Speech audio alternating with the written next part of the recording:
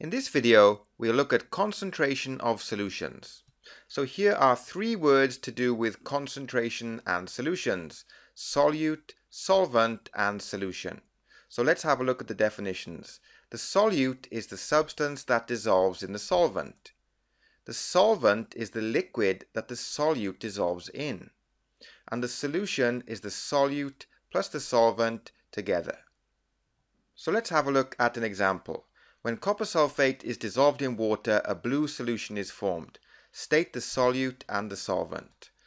Copper sulfate is the solute and water is the solvent. Next we look at calculating concentration. So concentration equals moles of solute divided by the volume of solvent. So here's another way to represent this equation. C equals N over V. C stands for concentration and the unit for concentration is moles per decimeter. N is number of moles and V is volume of solvent in decimeters cubed. Volume must be in decimeters cubed and to convert from centimeters cubed to decimeters cubed you divide centimeters cubed by 1000 to get decimeters cubed. So let's try an example. Find the concentration of a solution containing 20.0 grams of sodium hydroxide in 200.0 centimeters cubed of solution. So the first thing we need to do is change the grams to moles. So we use N, number of moles equals mass divided by molar mass. So the mass of the sodium hydroxide is 20.0 grams. So we put 20.0 at the top and the molar mass of sodium hydroxide is 40.00 so that goes on the bottom and that equals 0.500 moles of NaOH. So next we'll use this equation C equals N over V. The N is number of moles of sodium hydroxide which we've just calculated. So 0.500 divided by the volume. So the volume is 200. So that's 200 over 1000 because we have to get this into decimeters. And that gives us a concentration of 2.50 moles per decimeter. So next we'll try another example. Find the concentration of a solution containing 0.830 grams of potassium iodide in 25.0 centimeters cubed of solution. So first we need to change from grams to moles. So we use this equation. Number of moles equals mass divided by molar mass. And the mass is 0.830.